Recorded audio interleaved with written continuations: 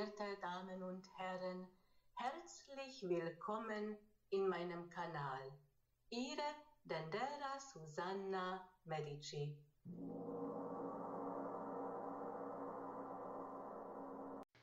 Wie beeinflusst die kosmische Energie unserem heutigen Tag am 29. Juni 2018?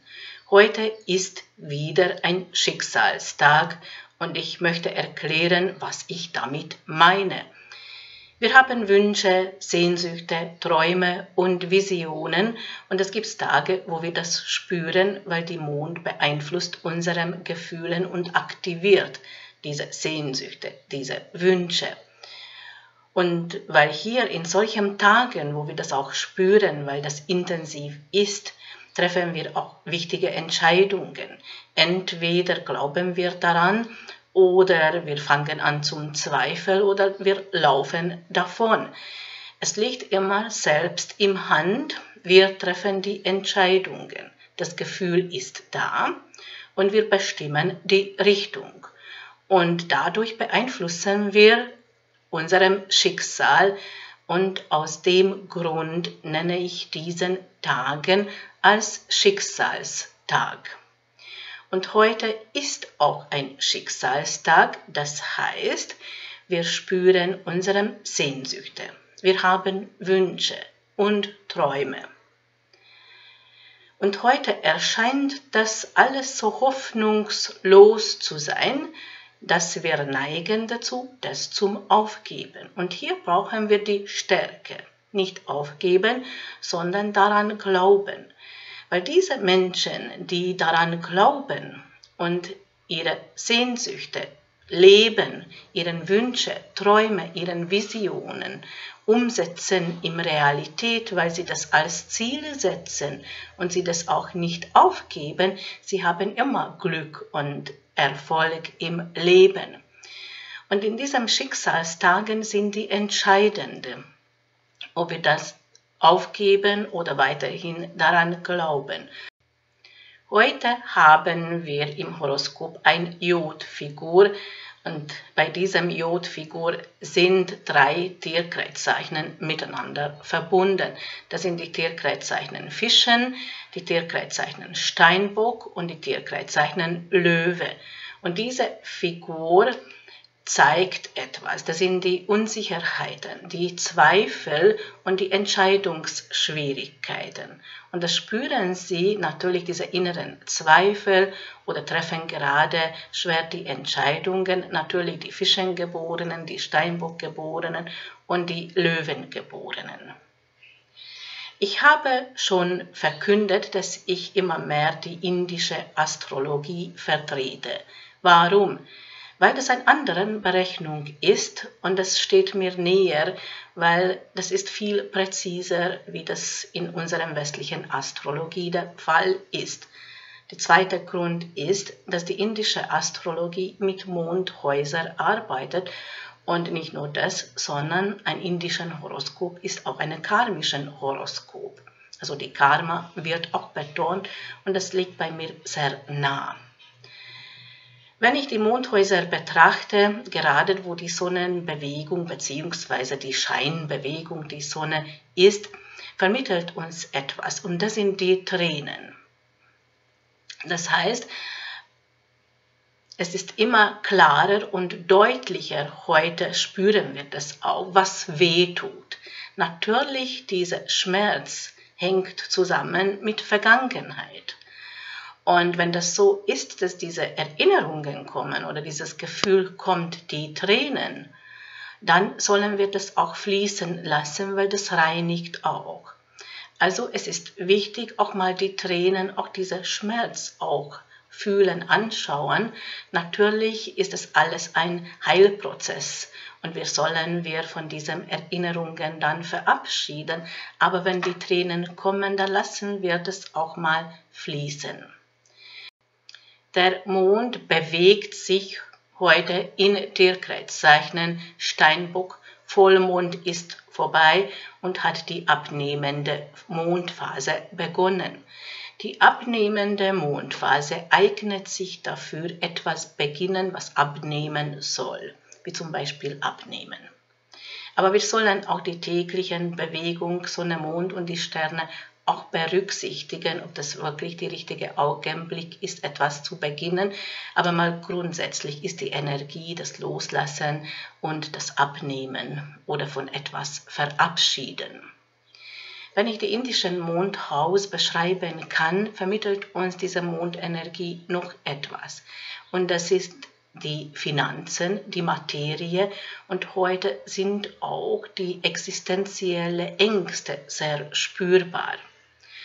Und heute sollen wir auch äh, betrachten, wenn wir etwas starten, sollen wir das langsam angehen, egal in welchem Lebensbereichen.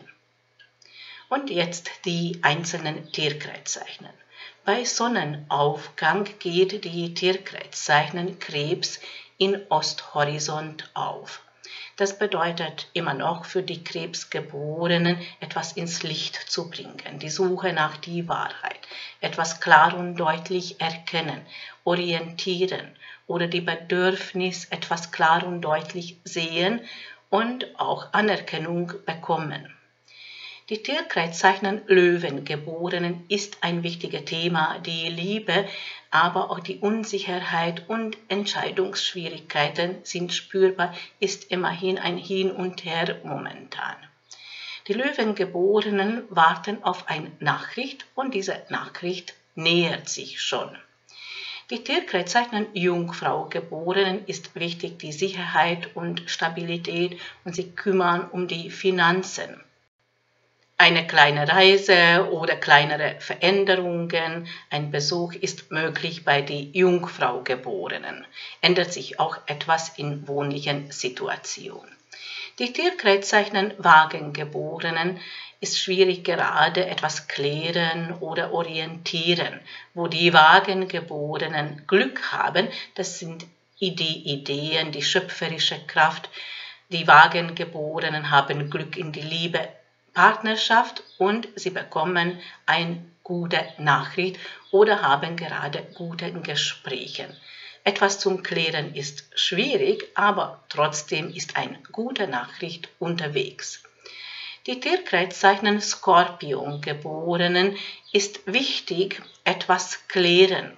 Vieles hängt mit der Vergangenheit zusammen, Kontakte von Vergangenheit oder Erinnerungen. Hier fließen auch die Tränen, aber das ist gleichzeitig die Transformation, die Heilung und ein Reinigungsprozess. Die Tierkreiszeichen Schützengeborenen haben Glück in die Liebe Partnerschaft.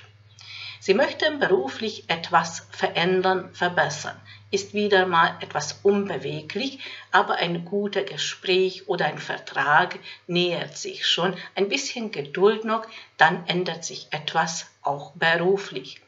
Die Tierkreiszeichen Steinbock-Geborenen haben Wünsche, Sehnsüchte, Träume. Die Steinbock Steinbock-Geborenen sind nicht die typischen Träumer, aber die Lernaufgabe besteht daran, diese Träume ernst nehmen und auch als Ziel setzen. In diesem Prozess befinden sich gerade die Steinbock-Geborenen. Heute spüren sie das ganz intensiv, aber sie fangen an, an etwas zum Zweifeln oder haben gerade Entscheidungsschwierigkeiten, weil es kommt keine Bestätigung. Aber sie sollen selbst die Entscheidungen treffen.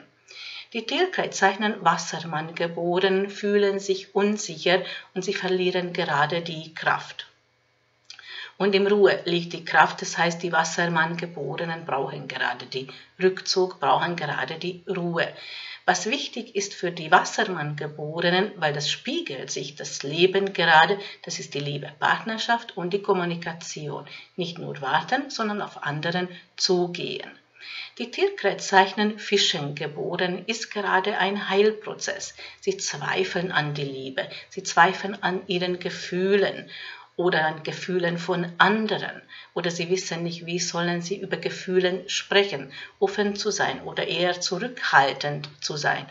Und die Fischengeborenen sollen diese Zweifel überwinden und intuitiv handeln nach Gefühl. Die Tierkreiszeichen Wiedergeborenen trifft es nicht direkt, diese Unsicherheit. Die Wiedergeborenen haben gerade Kraft und Mut, auch Glück, auch in die Liebe, Partnerschaft und eine gute Nachricht ist auch unterwegs und klärt sich etwas auf. Die Wiedergeborenen befinden sich gerade in einer Heilung.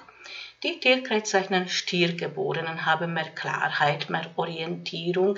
Sie haben gerade Kontakte in Bekanntenkreis, Freundeskreis oder in einer Gruppe, wie zum Beispiel ein Verein, ein Sportverein oder in einer Partei.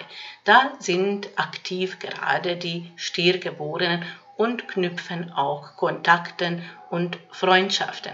Ein beruflichen Aufstieg ist zum Erwarten. In die Liebe, Partnerschaft und auch bei Gesprächen sind die Stiergeborenen zurzeit etwas eingeschränkt.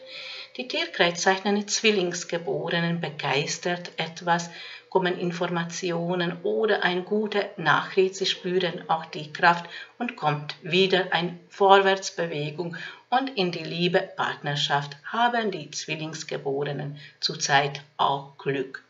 Und das war mein Tageshoroskop. Wenn das schon um Wünsche geht bei diesem Schicksalstag, möchte ich verkünden die nächste Wunscherfüllungsritual, was ich schon plane. Das kommt etwa in sechs Wochen. Sie können schon anmelden. Alles ist gratis. Ich bedanke mich für das Zuschauen. Mein Name ist Dendera Susanna Medici.